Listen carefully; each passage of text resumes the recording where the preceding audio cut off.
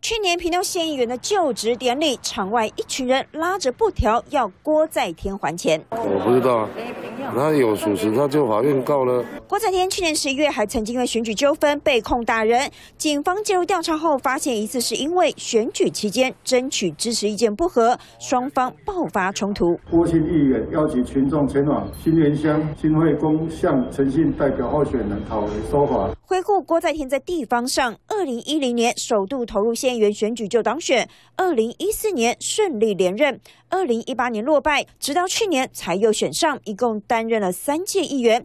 从政以来的争议有非法设置鸡粪堆肥厂，涉及选举暴力，遭控欠债不还。啊，多人啊，拜托伊就会行。